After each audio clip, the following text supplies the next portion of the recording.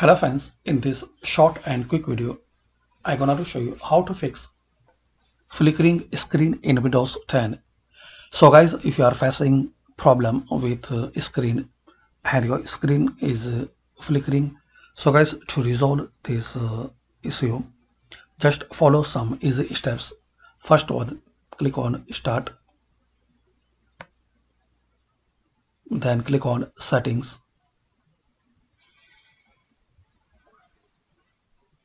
Now click on System.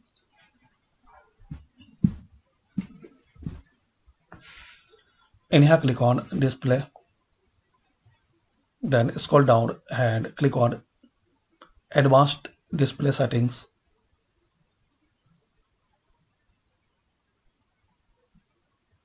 Now click on Display Adapter Properties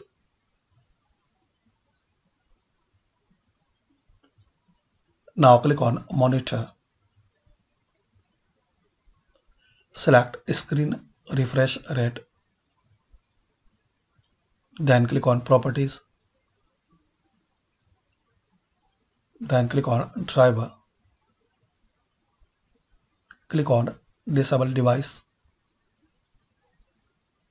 Click on yes. Now enable device then click on OK. Now click on apply, then OK. Now close it. Now click on start, then type device manager.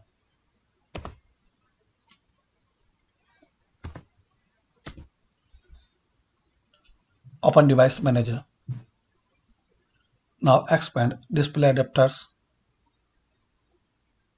Now right click here then click on update driver. Select the second option. Now click on let me pick from a list of available drivers. So guys here you will see some option. So accept microsoft basic display adapter. You can select any latest one. Like i have this uh, latest one. So select that driver. Then click on next. Then click on next now wait for a while. So you will see Windows has successfully updated your drivers. Now close it. Click on start. Then type CMD. Right click on command prompt. Then run as administrator. Type prompt. Then press enter.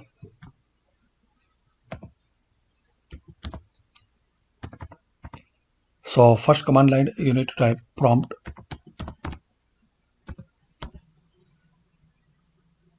Then press enter.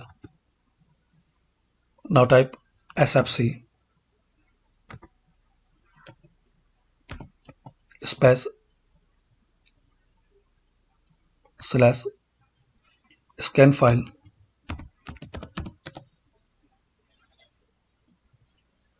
Equal sign C semicolon. Slash. Windows. Slash. System32 slash. Ieframe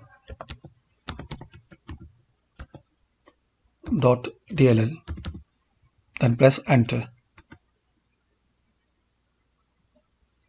Now again type sfc space slash verify file equal sign c semicolon slash windows slash system32 slash ieframe dot dll then press enter. Now exit and close on this command prompt and restart your PC. So hopefully guys using these simple and easy steps we can fix and resolve flickering screen in Windows 10. Thanks for watching this video. Please comment this video work for you or not.